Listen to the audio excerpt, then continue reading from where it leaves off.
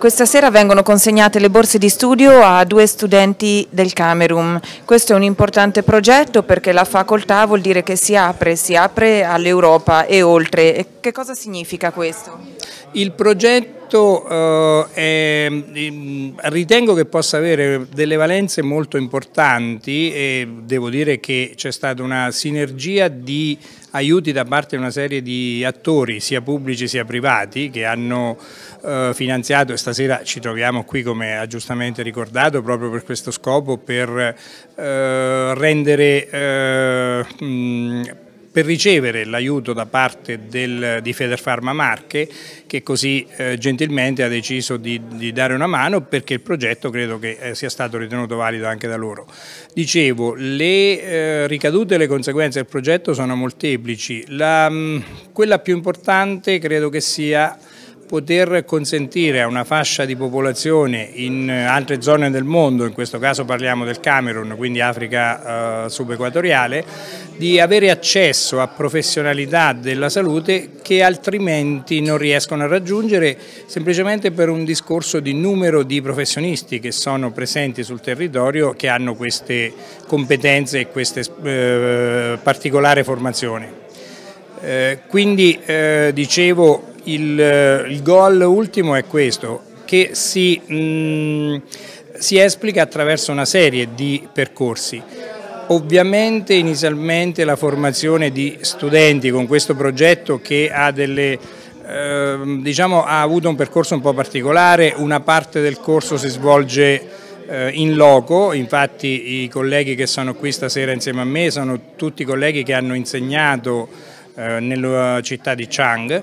in Camerun, questo per limitare i costi perché 20 studenti che vengono in Italia hanno costi molto più alti di 5 docenti che vanno a insegnare sul posto. E, eh, dopo la loro laurea, la loro oh, eventuale specializzazione con dottorato eccetera, c'è un accordo con l'università locale per mettere in piedi una facoltà di farmacia nell'università di Chang. Quindi ehm, il vecchio insegnamento della eh, cooperazione che non significa ti porto il pesce così ti sfami, ma ti porto la canna da pesca, impari a pescare e così puoi andare avanti per il futuro da solo. Professor Orazio Cantoni, preside della Facoltà di Farmacia di Urbino. Professore, come si rinnova e come si innova questo corso di farmacia? È una bella domanda, è un uh, percorso complesso, lungo, non, uh, non certo può, si possono vedere cambiamenti significativi nel giro di poco tempo, tuttavia è un percorso che è stato iniziato già dalla conferenza diciamo, dei presidi o comunque di, di coloro che hanno la responsabilità nei diversi atenei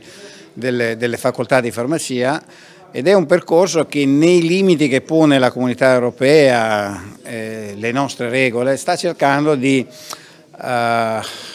creare i presupposti perché possa nel tempo eh, crearsi o possano crearsi quelle diverse competenze che sono oggi richieste per quanto riguarda la figura del farmacista. Penso per esempio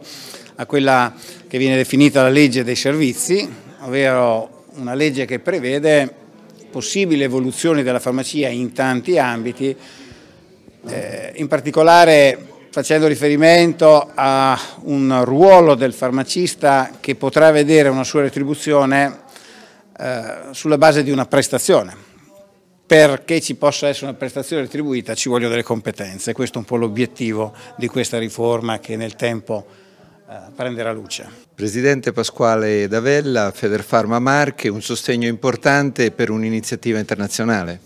Beh, eh, credo che fosse doveroso da parte della Federfarma specialmente in questo momento così difficile, sia in termini nazionali sia in termini internazionali, dimostrare eh, la solidarietà dei farmacisti.